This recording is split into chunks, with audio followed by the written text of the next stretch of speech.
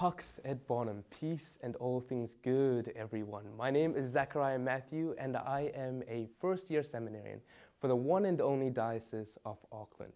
And so every time I talk about my vocation story, I love to talk about it in terms of a love story.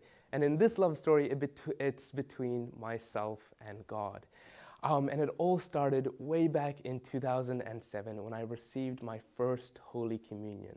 I was like, snap, I want to be able to do that. I want to be able to bring Jesus from heaven down to earth and give him personally to others. And that feeling resonated with me and stuck with me for the longest time. And so, naturally, as I started to grow up, I had other love interests. Um, I wanted to become a medical doctor and establish myself in society, or I even wanted to become a professional football player. Although I love it, I was never actually good at it. But I knew at the back of my mind and in deep in my heart that I was called to something so much more, something so much greater.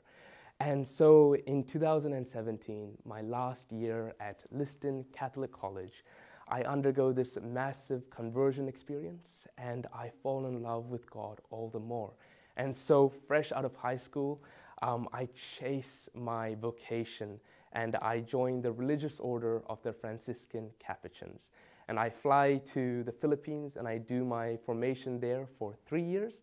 And then I come back to New Zealand. I take my first vows here and I do a little bit of ministry as well. And then I get assigned to India to complete the rest of my formation. But when I was in India, I undergo this deep period of prayer and discernment. And I realize, snap, I am super selfish. And I mean that in the best way possible. In the sense that I don't want to serve anywhere else in the world except here in New Zealand. This is my home. This is the country that I love. This is the people that I want to serve. You guys are the people that I want to serve.